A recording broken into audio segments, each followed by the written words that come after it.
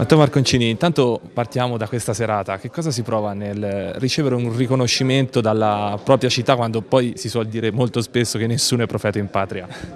Vai, innanzitutto io, come dico sempre, sono molto attaccato alla mia città che è Arezzo e cerco sempre di portarla in alto nel mondo, in tutti i tornei in cui competo e vado in giro diciamo e quindi sono onoratissimo di essere qui stasera e di rappresentare il mondo del judo e l'arma dei carabinieri all'interno di un contesto che è molto aretino diciamo.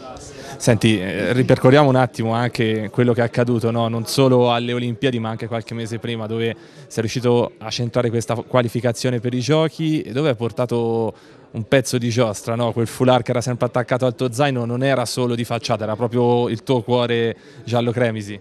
No, le cose di facciata a me non mi piacciono, è stato un gesto che eh, diciamo è venuto dal cuore eh, perché comunque il mio quartiere come dicevo prima, Arezzo e in particolare il mio quartiere che Porta del Foro mi è nel cuore.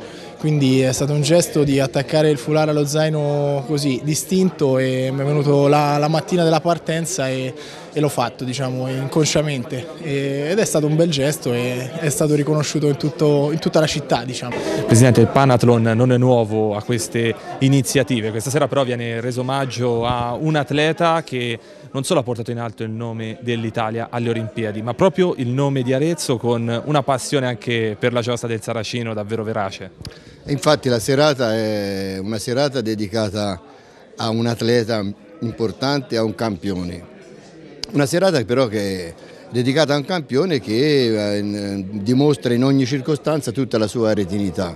Non è facile trovare una persona che arriva a, a, a, degli allori a livello europeo perché è anche campione europeo, ma mondiale perché Olimpiadi, andare alle Olimpiadi è sempre il raggiungimento di un traguardo, però eh, in ogni circostanza mantiene lucido e, e direi e ben presente la sua origine eh, aretina.